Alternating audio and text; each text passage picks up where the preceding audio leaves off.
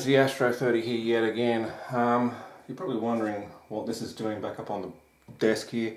No, I'm not going to pull it apart. I'm interested to know how I'm going to mount this Elliott Sound Products uh, Project 101 into a rack case. Now I was planning on putting it across the back panel but I don't think I'm going to be able to. This here is the lip of the bottom lid. It overlaps onto the actual back panel here and that comes up 10 millimeters. So the rack case height is around 88 millimeters. So we're losing 20 millimeters top and bottom. Penis. Which means this said module, not that I've got anywhere to put it, that's come adrift now too. Not that I've got anywhere to put it, because um, there's not any room. It's not going to fit very well in there on the back panel, I don't think. So turning it around, here is the blank PCB.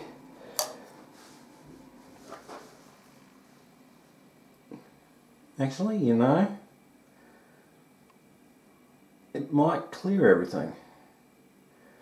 Just. Okay, so I've got the assembled module.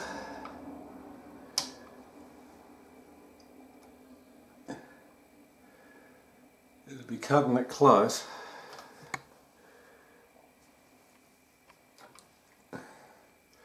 Because I don't want those transistors to interfere with the lip. I'll put that over to the edge where I can see the edge of the transistor. Oh yeah, it will just fit across the back panel. The transistors will be touching the top and bottom lid. Probably not good. Now, a heatsink here.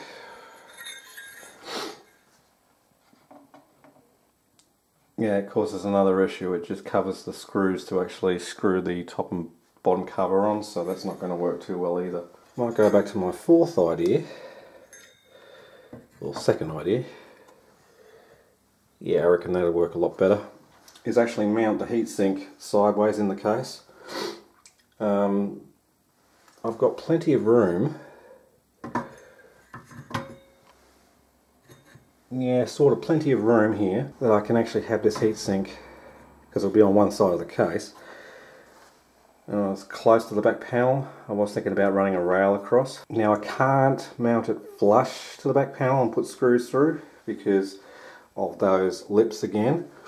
However, I can probably put spacers or washers or something to make it come out from the back panel so it clears that like 10 millimeter spacers away from the edge, like uh, non-threaded ones, and then you put a screw in, an M3 screw at four points on the corner of the heatsink, and run two rails top and bottom at the front, and that should still leave me enough room here, at least a good 70 mil or so to uh, have an input circuit board. So what am I planning on doing with this module? Well, I'm going to be building that four channel mixer amplifier using it. I thought uh, that would be probably a good idea for this, but I was just trying to figure out how I was going to mount it, hence why the case is on the desk and open. And I was taking one of the screws out of the lid, it bounced off the desk, dropped on the floor, but didn't actually drop on the floor. It landed itself in the bin under the desk amazing. Anyhow, now I've worked out how I'm going to mount it. Now I need to mount this to the heatsink because I might as well use it. I was given it for free. Now I was thinking of mounting the module towards the back of the case so it's out of the way. Um, now if Rod's done his homework and designed this right I should be able to go straight between the fins with the holes. So what I'll do is I'll grab the blank circuit board, I'll get rid of this case, and I'll mark out some holes for drilling. Now I'm pretty much eyeballing the position and distance, if it looks, you know, central to the heatsink and central to the fins, it probably is. Now, Yeah, that's a problem. Those holes don't line between fins.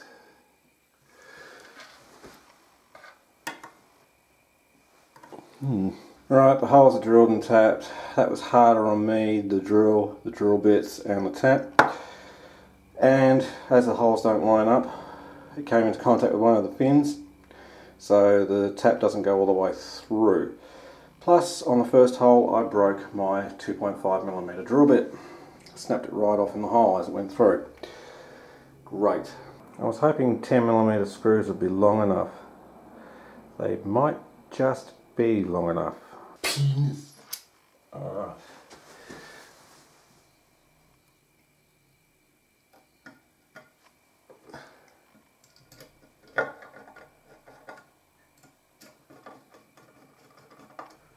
Don't want these Sil washers to move too much.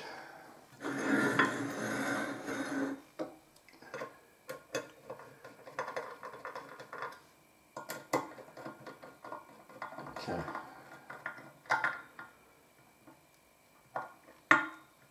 Uh, that one just not these screws are not going to be long enough. Wow. Okay. Let's try 15 mil then. That's better. So 10 mils are not going to work. Damn it. And I might be lucky that it, because of how deep this heatsink is, that it might just clear it. I believe that's the one that came in contact with the fin, but we're about to find out.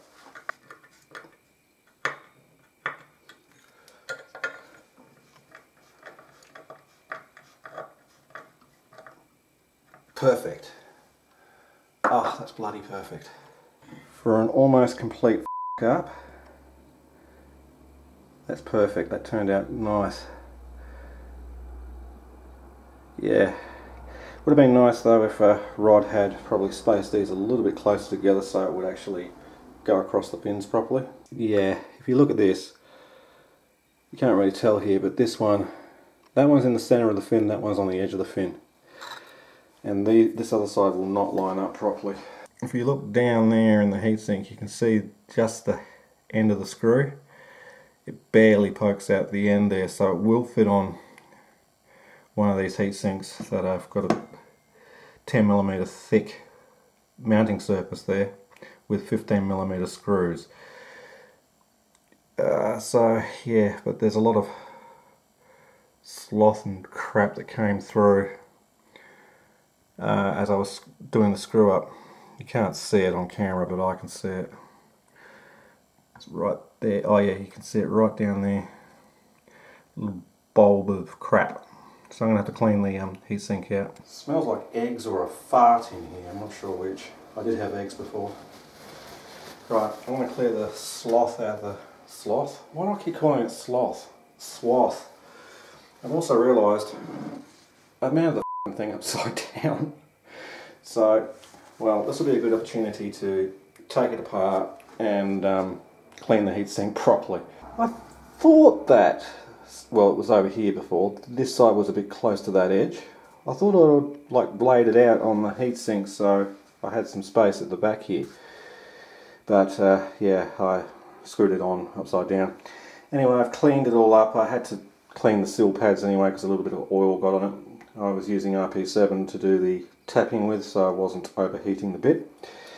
And um, yeah, so imagine this is the front of the rack case here and that's the back. So if I bring this forward and I use this screwdriver to indicate roughly where the back panel would be, I think you get the idea. Now, the next thing to do is I want to test this at plus minus 35 volt, in, uh, as in how much power output does it produce.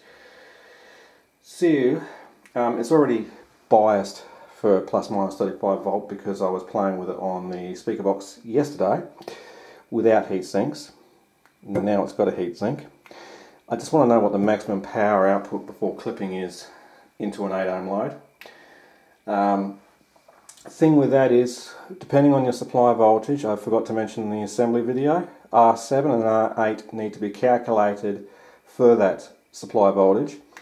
So if it was plus minus 42 volts, uh, it's uh, 42 divided by 10, which is 4.2, and then you take it up to the next um, common value. So in this case, 4.7. Uh, so if this was 3, 32, uh, start again, plus minus 35 volts, that would be, well, 3.5. Take it up to the nearest value, which would be 3.9. Um, yeah, so those two resistors will have to change because the reason for that is 5 milliamps has to run through the uh, driver stage. Um, that's just how he's done it. I'm not sure why it's divided by 10, maybe because it's two resistors and 5 MA through each resistor, so 10. Um, it wasn't really explained in the article text very well as to what he meant or where the 10 came from. Oh, that fart stunk. You didn't hear it, but it stunk. Um, yeah, where was I? Oh yes, I was talking about the uh, divide by 10. So yeah, uh, that's in the public website, so that information is available in the main project article, but he doesn't specify where the 10 comes from. But that's the calculation you've got to use. So the end result of that is um, R7 and R8, wherever they are in the circuit now, I don't remember, uh, need to be changed to, in this case, 3.9k from what the actual bill of material value said it's uh, supposed to be. But that's for the high power version. The first thing before I do any testing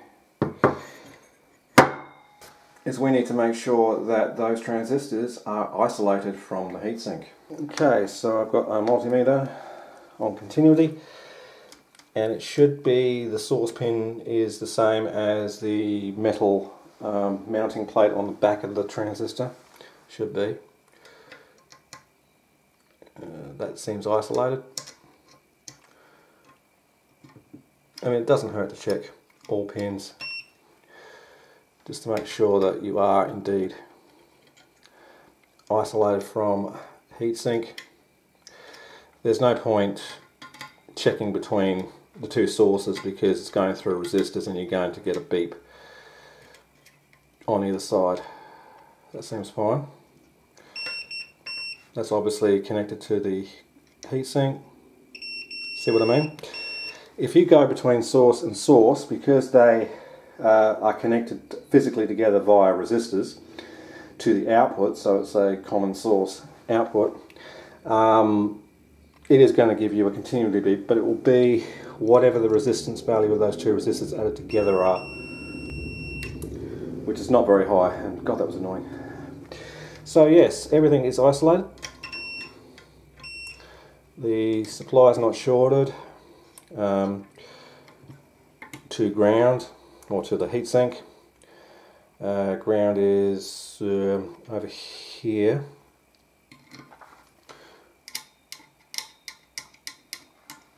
nothing is shorted. Brilliant. I mean, it doesn't really matter, but yeah. So it's isolated, everything's all good. That means that these uh, steel washers are still intact. They didn't tear or anything when it was being screwed, tightened down. So now we can uh, go on to actually testing the power output. Penis. Right, everything is uh, set up and turned on. Um, I've got an output signal. Now let's have a look at our maximum output peak to peak. Now we are in times 10 so we don't need to worry about calculating that value. So crank it up. There's clipping, outer clipping which is about there. I'm going to say it's very close to 60 volt peak to peak. turn that down. These things not even getting warm. There's my dummy load at the moment. Very good. Now, I did see it say around about 59.82, so we'll, we'll ballpark it, park it at that. Divide that by 2 gives us 29.91 peak. 29.91 equals that divided by R load. Whew, 111 watts peak. Oh yeah, man. Now, I didn't get the RMS value, so I'm going to get the RMS value now. There's clipping, bringing out a clipping. RMS is 24.2. Okay, so 24.2 multiplied by itself equals that divided by the load. Yeah, mother 73 watts. I'm going to say 70 watts RMS. There you go. So what does this mean? Well, this means I'm probably, and you can get away with using a 160 VA transformer at this lower voltage. If you're going to use the plus minus 42 volts, uh, yeah, well, you can't get a 30 volt, 0 30 volt transformer in 160 VA anyway, not from Altronics. Uh, you have to get a 300 VA. Anyhow, what am I going to do with this? Well, I am going to use it for that mixer project, yes. I'm planning on running on plus minus 35 volts. That's why I wanted to find out what the actual maximum output power was before clipping on that voltage. The only thing I do have to, change, as I stressed before, is R7 and R8 to the correct values. Other than that, this amp's going to be Bonza. So, I'm happy with the results. I was actually expecting quite a lot less because he does say at plus minus 42 volts it only puts in 80 watts into the 8 ohm load and we're getting that I would assume that's RMS and we're getting 80 watts at plus minus 35 volt which is not that far off of the plus minus 42 so yeah the figures add up so I'm quite happy with that. There's not much more else I can say about this or do with it now because, well, it's mounted to a heatsink. I can use it later on for testing other amplifiers, amplifiers, speakers or something. I do have to fix that Sil-Pad, it's gone crooked. That's alright, I'll do that after it's powered off, which is now. Anyway, I'm going to close this video out. I hope you enjoyed it. If you did, please remember to comment, rate and subscribe below. And you can always follow me on Facebook and become a Patreon member for as little as a dollar a month. I'd like some more Patreons, please, guys. Anyhow, this is Astro3 saying see ya. Have a great day. I'm so happy. I will say before I go, having this at the back of the desk makes it so much easier. Hmm. Alright, see ya.